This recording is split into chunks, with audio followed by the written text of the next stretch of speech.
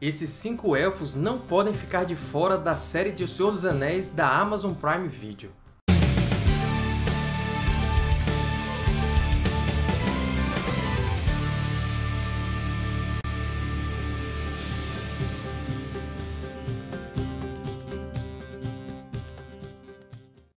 Olá, Tolkien Talkers! Tudo bem com vocês? Antes de falarmos sobre os 5 elfos que queremos ver na série, já deixa seu like aqui embaixo, deixa sua curtida. Quem está chegando agora ao canal já se inscreve clicando aqui no botãozinho vermelho e depois já aciona o sininho do YouTube para ativar as notificações e ficar sabendo sempre que houver um vídeo novo. Fazendo tudo isso, vocês ajudam a dar mais relevância ao TT aqui no YouTube. A única certeza que nós temos sobre a série, se é que nós podemos falar isso, é que ela irá se passar durante a Segunda Era. Isso porque há um tempão o perfil oficial deles deu as boas-vindas à Segunda Era. Até o mapa que eles divulgaram por último veio com a Ilha de Númenor, que só aparece na Segunda Era de Arda.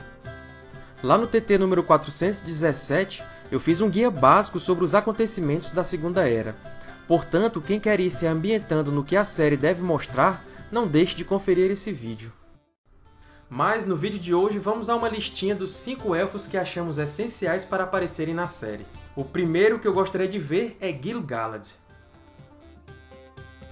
Ele foi o sexto e último Alto Rei dos Noldor, sobre o qual eu falei lá no TT número 190. Na Segunda Era, formou o Reino de Lindon na Terra-média, onde ficavam os Portos Cinzentos. Gil-galad era considerado o Alto Rei dos Elfos do Oeste, e manteve contato com o príncipe Aldarion de Númenor. Ele chegou a enviar uma carta ao rei Tar-Meneldor, alertando do retorno da Sombra e pedindo a ajuda dos homens. Gil-galad foi um dos líderes da última aliança de Elfos e Homens, sobre a qual eu falei lá no TT número 107. Junto de Elendil, ele derrotou Sauron. O segundo elfo que queremos ver na série é Celebrimbor, sobre o qual falei lá no TT número 50. Era neto de Fëanor e considerado o maior artífice da Terra-média. Buscando o Mithril, fundou o reino élfico de Eregion ou Azevin, e governou sua capital, Ost-in-Nezil, a oeste de Moria. Celebrimbor era o líder dos joalheiros élficos, chamados Gwaith e Myrdain, e todos eles foram enganados por Anatar, o Senhor das Dádivas. Este era, na verdade, Sauron disfarçado, e sob sua tutela, os Elfos fizeram os Anéis de Poder. Mas três anéis foram feitos escondidos de Sauron, e desses, um foi para Lothlórien e dois para Lindon. Celebrimbor foi morto na guerra de Sauron contra os Elfos, e os sobreviventes de Eregion foram para Imiladris, o Valfenda. Isso nos leva ao terceiro elfo que nós queremos ver na série, Elrond, o Meio-Elfo sobre o qual nós falamos tudo lá no TT número 114. Na Segunda Era, Elrond começa morando em Lindon com Gil-galad e Círdan. Ele era o arauto de Gil-galad e vice-regente de Eriador. Elrond lidera uma força de Elfos para ajudar Eregion, mas eles não conseguem deter as forças de Sauron. Fundou-se então o refúgio de Imiladris ou Valfenda, para servir de bastião contra as forças sombrias. Ele recebe então o Anel Vilha. Elrond participou também da Guerra da Última Aliança, e estava presente quando Isildur pegou um anel. Junto com Círdan, aconselhou-o a destruir o anel, mas Isildur se negou. O quarto elfo que deveria aparecer na série é Círdan, o Armador, sobre o qual eu falei lá nos TTs 99 e 175. Círdan era o mais antigo elfo da Terra-média, e alguns suspeitam inclusive que ele fosse um dos que despertaram em Cuivienen. Ele sempre aparecia em momentos quando tudo aparentava estar perdido. Era o Senhor dos Portos Cinzentos, que foram fundados no ano 1 da Segunda Era. Círdan costumava receber amigavelmente os Númenóreanos, tornando-se amigo de Veantur, chefe dos marinheiros de Tar Elendil de Númenor. Foi Círdan também quem ensinou o marinheiro Aldarion como construir e manejar navios.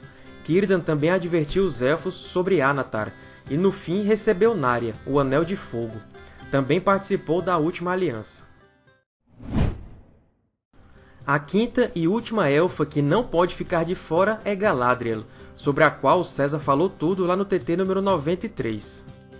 Após a Guerra da Ira, na conclusão da Primeira Era, ela decidiu ficar na Terra-média com Celeborn. De Lindon, Galadriel foi para Eriador e depois para Eregion. Galadriel entrou em contato com Amedir, dos Elfos da Floresta, e decidiu ir morar no reino de Lindorinnand, ou seja, Lothlórien. A senhora élfica advertiu Celebrimbor do perigo dos Três Anéis, e aconselhou que eles fossem retirados de Eregion. Foi assim que ela recebeu Nenya. Ainda na Segunda Era, Galadriel foi com sua filha Celebrian até Imiladris em busca de Celeborn.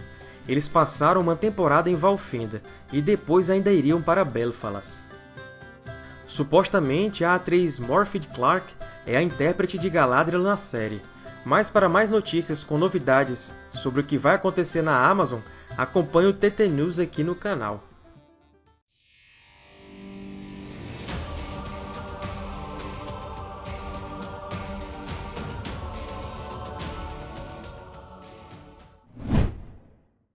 Então é isso, pessoal. Ainda há outros elfos importantes que podem aparecer na série. Se vocês querem saber quais, ou mesmo ver outras listinhas como essa, é só deixar aqui embaixo nos comentários.